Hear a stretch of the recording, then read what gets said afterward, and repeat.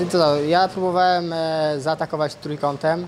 E, widziałem, że z tego trójkąta mi się wyprostował strasznie, jego ręka została prosta. Starałem się podchwycić dźwignię prostą, czyli balachę. E, czułem, że jest bardzo ciasno, ciągnąłem ją naprawdę z całych sił. Chyba jak mi udało się, że chyba nigdy nikomu nie, nie zrobiłem takiej krzywdy, czy nikomu nie złamałem re, re, re, ręki, ponieważ czy na zawodach, czy na treningu, no to zawodnicy odklepują, żeby nie zrobić sobie krzy, krzywdy, a tutaj zdecydowanie czułem, jak jemu ta ręka strzela, no i wiedziałem, że nie mogę tego puścić, tak? Po to wykonuję tą dźwignię, więc on bierze swoją odpowiedzialność za, za to, że stracił zdro, zdrowie, no a ja robiłem technikę kończącą, no i dokonałem jej do samego końca. Czyli to już masz taką pewność, że po prostu ta ręka została złamana. Jest złamana na 100%, ponieważ strzelała strasznie. I ty mówiłeś, że już strzelała zanim on w ogóle odklepał, prawda? Czyli to No nawet, nawet nie wiem, czy ona odklepa, bo to już tam już nie- tego tam nie, nie do końca wiem, ale, ale no czułem jak ta ręka strzela niemiłosiernie. Wiedziałem, że jeśli walka potoczy się nawet e, e, w przód, no to już on na pewno tej ręki nie użyje. A byłeś trochę w podrękowej sytuacji pewnie, bo jeżeli by się tej techniki kończącej nie udało zrobić, to mam wrażenie, że chyba Anglik by wygrał na punkty ten Czy, pojedynek. ja tak, z mojej perspektywy wydawało się, że pierwszą rundę zwyciężyłem, że drugą przegrałem i starałem się trzecią rundę e, zwyciężyć.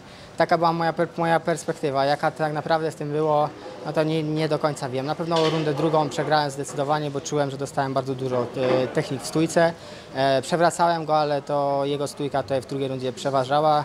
Wydaje mi się, że pierwsza runda była bardzo zbliżona, ale no, z mojej perspektywy zwyciężyłem, ale ja tej walki nie, nie oglądałem, tylko byłem w oktagonie. E, W trzeciej rundzie, no, jak wychodziłem do walki, trenerzy powiedzieli, że mam dać się 100%, bo może na punkty być różnie. Taka jest walka, tak? No, ja w każdej z rund starałem się dać siebie wszystko, szukałem zw- zwycięstwa, tak? Mówię, tutaj upatrywaliśmy to zwycięstwo właśnie w parterze, no i szukałem tego, tak? Szukałem, no i uda, cieszę się, że znalazłem. Ale mówiłeś kiedyś tu w wywiadach jeszcze w języku angielskim, że y, planem twoim była walka w stójce, czy coś po prostu E, no, ale no, plan był taki, że na pewno się nie rzucałem do tych nóg e, od razu z pierwszego tempa, tak? Nie wiem jak to mówię wyglądało właśnie z perspektywy oglądających, tak? Ale starałem się w tej stójce, żeby powalczyć z nim, tak? Żeby też starałem się go zaatakować w stójce. E, może czasem trochę nieudolnie, ale no, uczę się cały czas tego wszystkiego.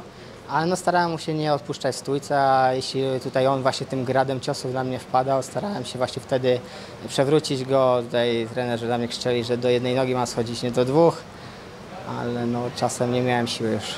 Dla mnie wyzwaniem jest każda kolejna walka. Naprawdę.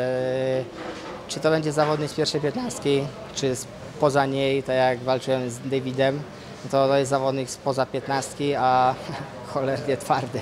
To był naprawdę dobry, kompletny zawodnik, tak więc każda walka jest dla mnie wyzwaniem, podejmuję to wyzwanie i staram się, żeby wygrywać. Czyli po prostu kogo ci dadzą największe wyzwanie, nie wahasz się, przyjmujesz, jedziesz. Nie waham, wychodzę, robię swoje, a jeśli to jest sport, tak? Wygram, super, przegram, to świat się nie załamuje, tak?